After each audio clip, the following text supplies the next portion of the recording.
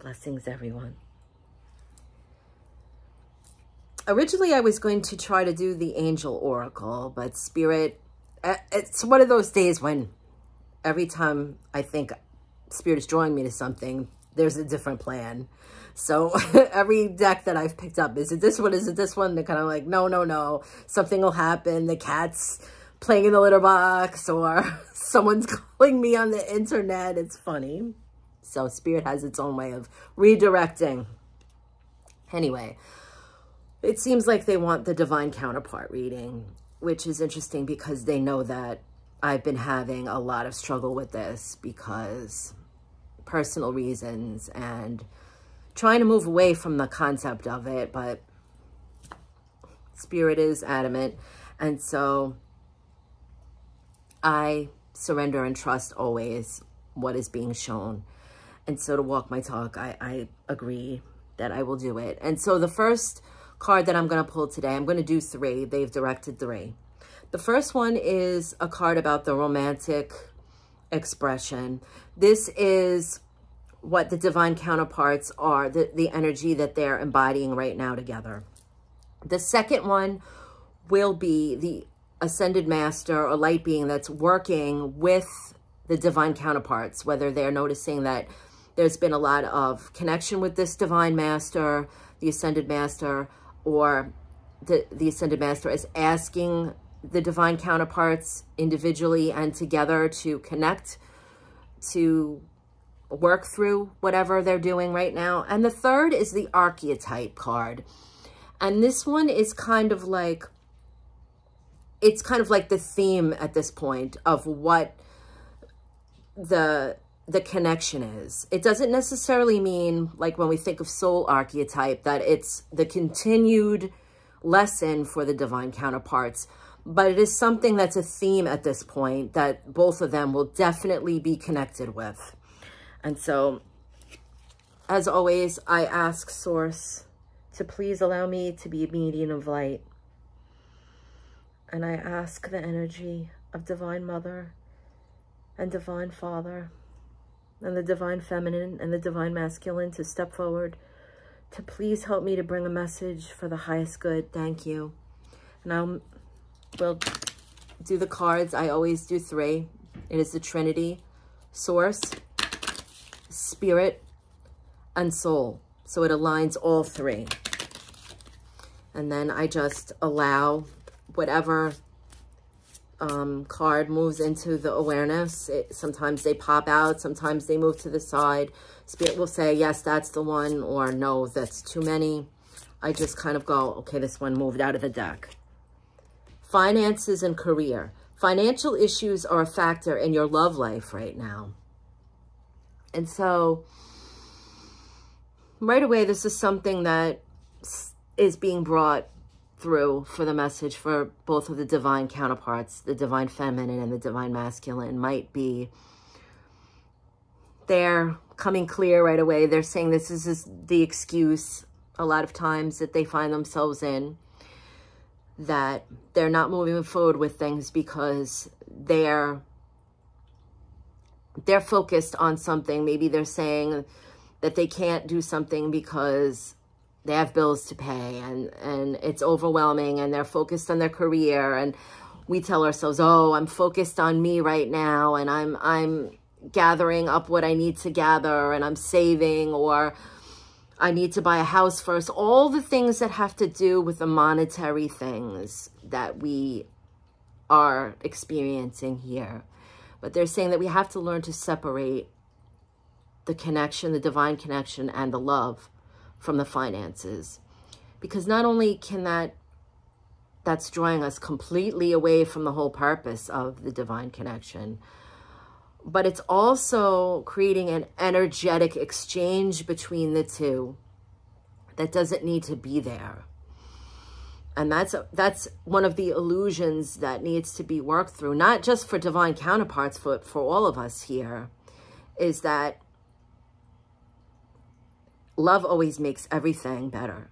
And when we're having struggles, what better way to get through that besides our trust of source and knowing that we're getting experience and learning lessons from it, but that we can hold the space of love. That's when we should draw closer together. And we're never going to have the house on the hill first. We're never going to be financially situated enough. There's always going to be some kind of challenges in the physicality. It's earth school. That's why we're here. But what they're saying is if it's pushing apart, we have to ask ourselves why. It should be drawing closer. A lot of marriages break up because of the financial strain. And that's when we know that's a karmic thing. Because people that are connected in a divine counterpart connection, these challenges never push them apart. It always draws them closer because they're supporting each other through something. And that's what the divine connection is. Supportive. That's what source is. That's what our angels are. They're supportive. Never hear of anybody saying to an angel, I need your help, and then being completely projected into the opposite. No. So if it's a divine connection, they're very clear. They're saying that this is going to pull them together, that they're going to work through it together. Okay. Now the second one, three shuffles. This is the Ascended Master that's working with them through this. This is who they are aware of at this time that's stepping forward or who they can call on to help them through this challenge when it comes up with the material things. Maybe they're not in the same, um, they're not living in the same area. They could be two different parts of the world or maybe one of them is feeling more successful in their career and the other one is just starting out. There's this imbalance of this that they're that they're in this space right now and this ascended master will be exactly what is needed to help the divine counterparts through this. Okay, and I'm just going to allow the cards.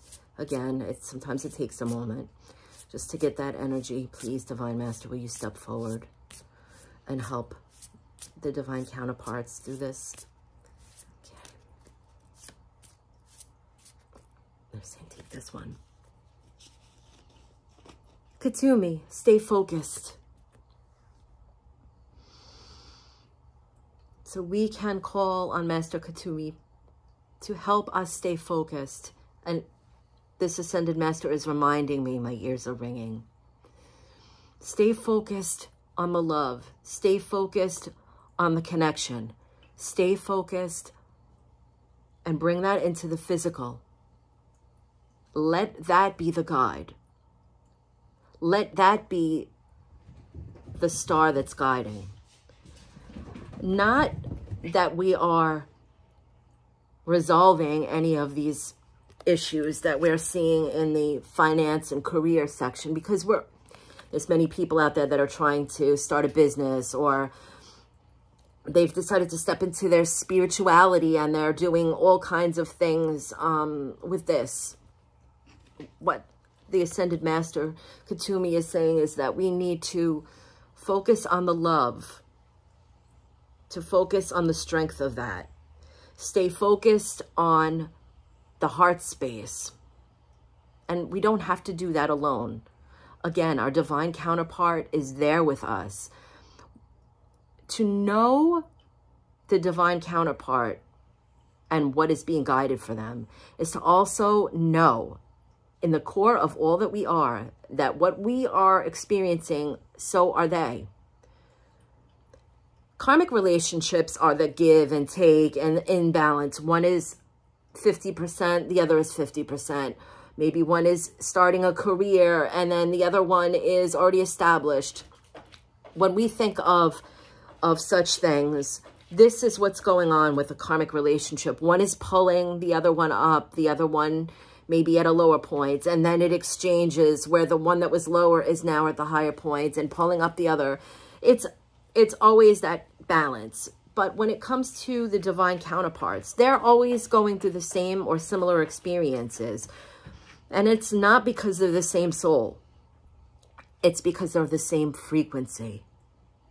And so Master Kuthumi is saying that we have to stay focused. We have to stay focused on the whole point of this. The whole point of being a divine counterpart isn't to be in this separation there isn't separation.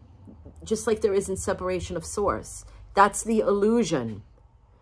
We cannot be in separation from the divine counterpart because even if we haven't physically met them yet, they're still there going in a higher level of vibration through the same motions we are. And they're always going to be drawn to us. It's always going to be like when you least expect it. You, you may be in the kitchen making a sandwich and then all of a sudden this person contacts you or, or something amazing happens. You just had the most mind-blowing spiritual experience and who's the first person you call? Or who's the first person that you think of? And so this is exactly what is being brought to by the Ascended Master Kuthumi is to stay focused on this, use this, bring this space into the situation when we're going through these certain challenges, these career changes, all of the things that we see as financial issues or the illusion of an issue, to bring in the love, to bring in the sacredness, and we have to get through the idea of doing it alone. Yes, we have to be in that divine space, the Master is saying, of our full self, our wholeness. And then everything will flow easier. Always the connection to source first, in our own space, through our own spirit, expressing our soul. But if we've taken on part of this lifetime to reconnect with our divine counterpart, that we are fully and completely meant to do this together. It's the balance of yin and yang. Now, the third card um, is going to be for the archetype. And this is kind of a theme that's going on for both counterparts. It doesn't necessarily have to do with what the first counterpart card was, um, with the romantic card, which was the financial situation. This one's a little hard because it's, they're round. And so I'm just going to move the cards around. Um, the shuffling is a little difficult. But this archetype card is based on kind of like what it is that they're going through together. Yes, they're having a financial, maybe, um, situation going on right now that they're working through that illusion. But the archetype will tell us the basic lesson of the souls through this as they share this. So now I'm just going to kind of move the cards around and whatever comes up. Oh, that's too many. this is going to be an interesting challenge because I have not worked with this energy yet. So please be patient with me. Spirit is saying, step out of your comfort zone today. Okay, this one flew out. So I'm going to do this. The kiss.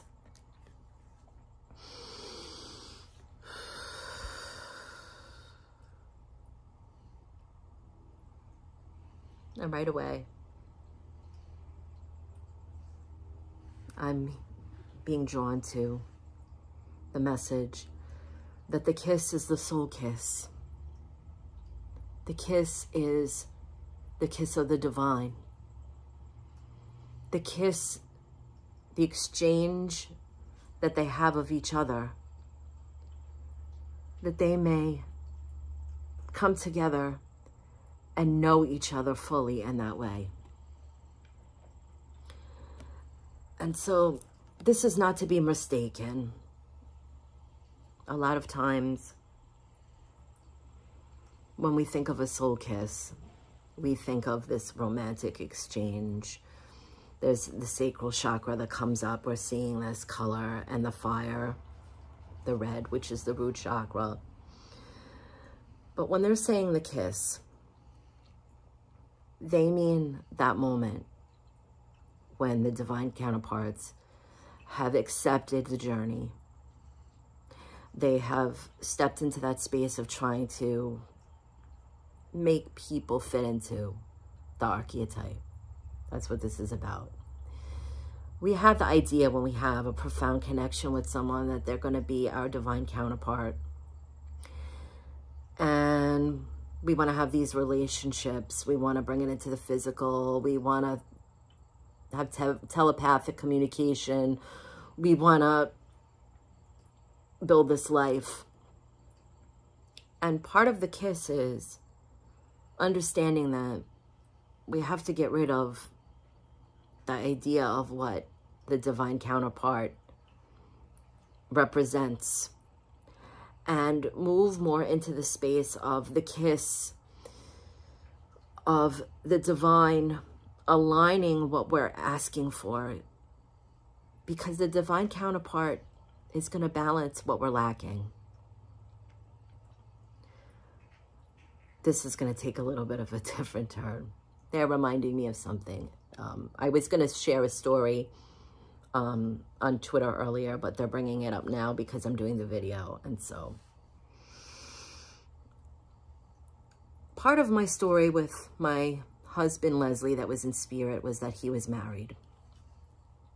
And they're speaking about that on the side of divine counterparts, the relationships that we have with people here. This happens sometimes where we meet up with someone and they're already in a relationship and their relationship isn't working, so we connect. That's what happened with me, with my late husband. But what Spirit's saying is there's a difference between people who are looking for other people to fill the space because they can't make the transition and be on their own. When I met my husband, I had just come out of a marriage and I had been alone for a few years before he stepped in for me. He was married for 35 years and he left his wife to be with me. But they're saying this is the key. That if someone loves us, this divine counterpart or not, that they're going to step into that space. There's no leaving us hanging. I told my husband at the time, who was a new love, when he first came out, he came all the way over on a plane from Scotland to be with me when we first met, this isn't going to be a thing where you're going to go back home and I'm going to be on the side with your wife. You have to make a choice. And he knew right away. He proposed to me just a few weeks after being out um, from Scotland to be with me. So, of course, he had to return. The story goes, and he went back to Scotland and filed for a divorce, and then eventually we were together and married. And though he is not the divine counterpart, he set the tone for me. He was teaching me in the karmic relationship of what to understand that real love is expressing as. That there isn't the, the person being left on the side. That if someone really loves you, don't expect anything less. It's just you. There isn't room for two and three different people. And I know there's many people out there who believe that they can have these um, polyamorous relationships, and that's fine. But we're talking about the divine and the kiss, the soul kiss. The soul kiss from the divine between counterparts is two becomes one in source. And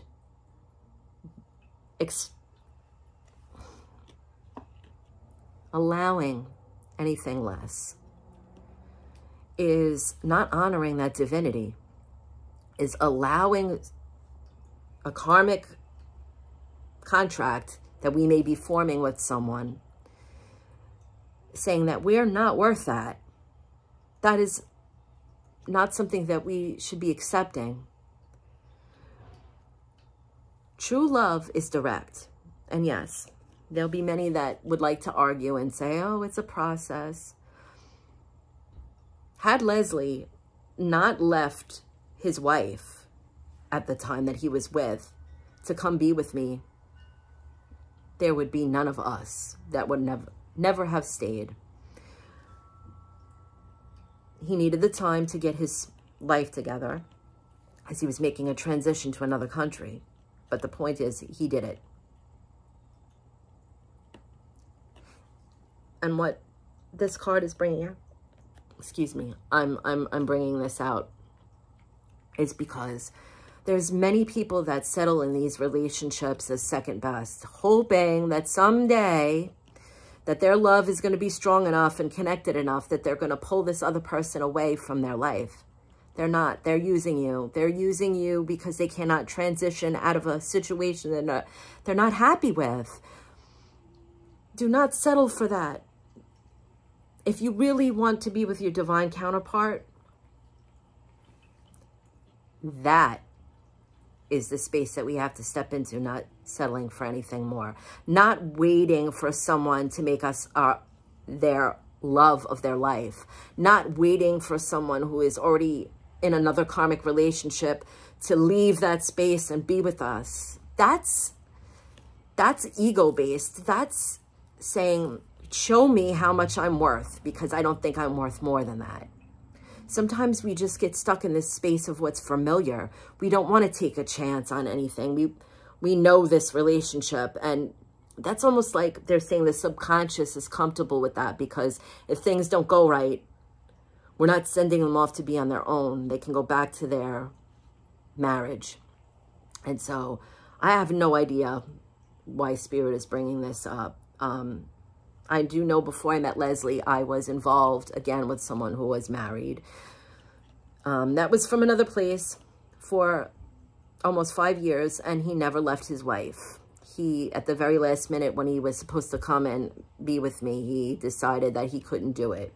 And it just, it sent me in a tailspin because I had spent so much time in my transitioning from my marriage and we were le I was leaving that to go on my own um,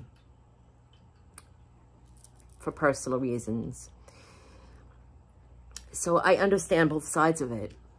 I understand, and, and Spirit is bringing this up with the kiss. They're saying we, we're not going to experience this when we haven't stepped into our full power and understanding that if someone hasn't chosen us, especially after, with me, it was five years, five years I waited I went through the back and forth with that.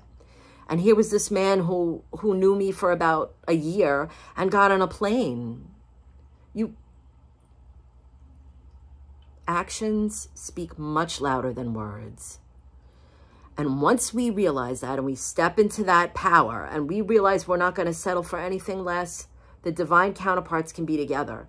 And your divine counterpart may might not be the illusion that you want it to be because Spirit said to me yesterday, anything from our past is in our past for a reason. And if it was meant to be with us now, it would be.